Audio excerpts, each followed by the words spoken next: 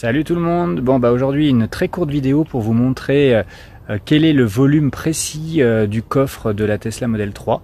il est donné pour 425 litres et donc eh bien à l'occasion d'achat de sacs de copeaux de 50 litres chez une enseigne bien connue, j'ai pu vérifier ce volume qui nous est donné par le constructeur et les différents sites sur lesquels vous pouvez vous renseigner. Donc on vérifie ça tout de suite ensemble.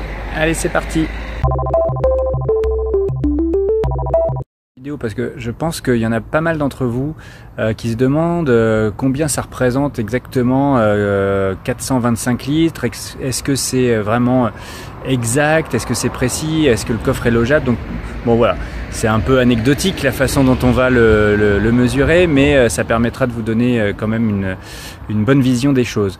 Alors pour rappel, le volume total de chargement que vous pouvez avoir dans les coffres de la Tesla Model 3, c'est réparti de la façon suivante 425 litres euh, à l'arrière, dont euh, un sous-coffre d'environ 70 litres, hein, il est immense, et puis un coffre euh, à l'avant d'une capacité d'environ 50 litres. Alors voilà, maintenant on va ouvrir le coffre ensemble. Alors ça va peut-être tomber, hein, puisque voilà, c'était bien chargé, mais on va regarder ensemble comment, comment ça se passe. Voilà, on ouvre le coffre ensemble. Allez, on y va? Attention. Ouais, ça tient. Bon, alors c'est parti, on décharge. Deuxième sac de 50 litres, il n'y a pas de pub. Hein.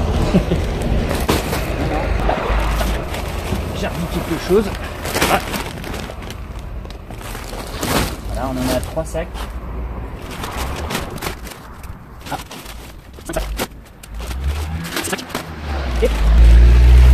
7 sacs. Alors.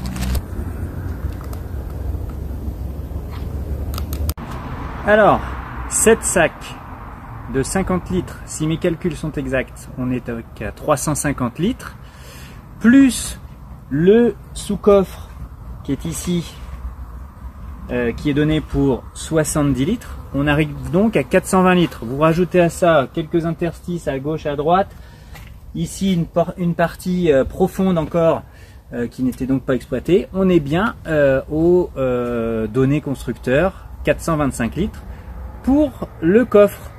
On va essayer de voir ce que ça peut donner. Est-ce qu'on va avoir suffisamment d'espace pour mettre un sac de 50 litres dans le coffre avant? Sachant que normalement, bah, c'est le volume précis qui est indiqué par le constructeur.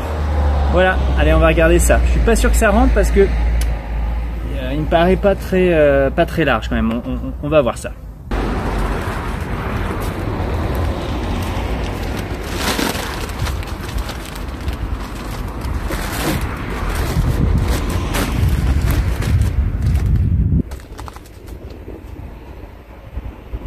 Ça a l'air d'aller.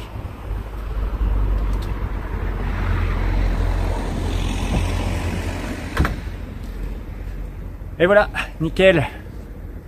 Bon bah les amis, on va faire la conclusion dans le coffre, puisque le coffre était le sujet euh, du jour.